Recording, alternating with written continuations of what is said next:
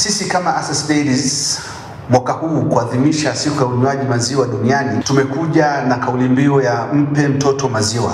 Tunaendelea na zoezi la ugawaji maziwa mashuleni bure na lengo letu ni kufikia zaidi ya watoto elfu thelathini na sita ambao wanasoma katika shule za manispaa za Iringa za nasari na za msingi. Tumekuja na kauli mbiu hii kwa kutambua umuhimu wa unywaji wa maziwa kutokana na takwimu za shirika la afya duniani inataka kila mtu kunywa sio chini ya lita mia mbili ya maziwa kwa mwaka. Tumeanza zoezi hili na tutaendelea mpaka kilele cha kuadhimisha siku ya unywaji maziwa ambayo itakuwa ni tarehe moja mwezi wa sita.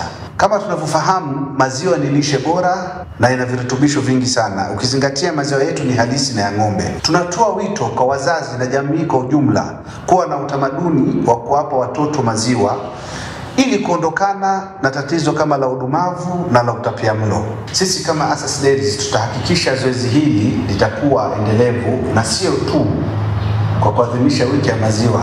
Napenda kutoa shukurani za dhati kwa uongozi wa manispaa ya Iringa kwa ushirikiano mkubwa ambayo wametupa kuanzia zoezi hili limeanza, na wamekuwa wakitoa ushirikiano kwa zoezi hili linavyoendelea. Vilevile vile nitoe pongezi na shukurani kwa shule zote za manispaa ya Iringa pamoja na walimu, walimu wakuu na wanafunzi kwa ujumla, kwani peke yetu tusingeweza. Asanteni sana.